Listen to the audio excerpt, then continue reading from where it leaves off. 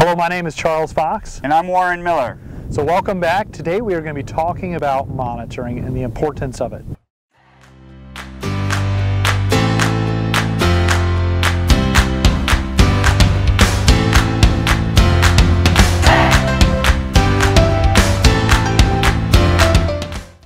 So why why do you need internet at your on your solar array, Charles? Yeah, so internet is vitally important for you to be able to have access into what your system is producing. So what that allows us as an installer and you as a customer to have real-time data, real-time production of what your system is producing.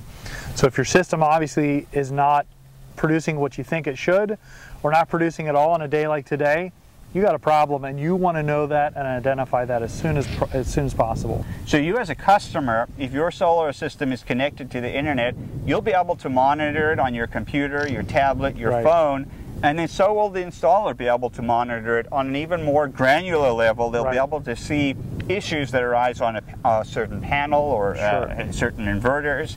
And so it allows the installer to troubleshoot expeditiously as soon as something yeah. goes wrong, and it also lets you get to see how your system is producing. Yeah, so monitoring has become vitally important to knowing that your system is producing optimally, which at the end of the day gives you peace of mind.